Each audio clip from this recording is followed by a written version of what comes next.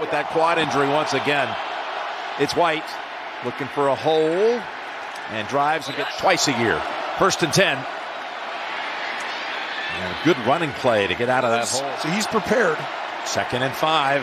And they've got a first down. As a Play out right here. the 63 points last week, the most ever put up by a rookie quarterback in league history. They've got another. Las Vegas starts this series with a little Oh, run. that's right. I had you more like Dean Martin. Oh, I'm a lot like Dean Martin. First down. And Noddy has it. Here's a first down give.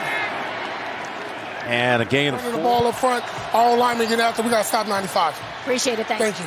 And they run in on these first one catch so far in this one. First and 10. And again, they try it. Not available today. Here they fake.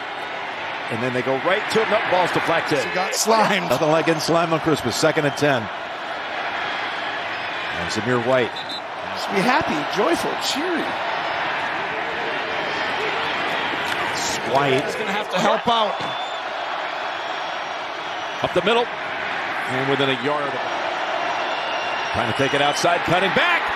And there he goes for the first down. Developing play, but it was a perfect play call to run the power and wash everything in. Got like a 10 yard deep running back. And I'm like, how are you going to get a yard when you're that deep? It's at the bottom. And a new set of downs.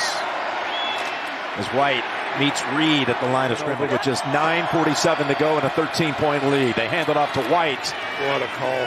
Picks up. We'll go back to White. We're waiting for him. We're going to. With White.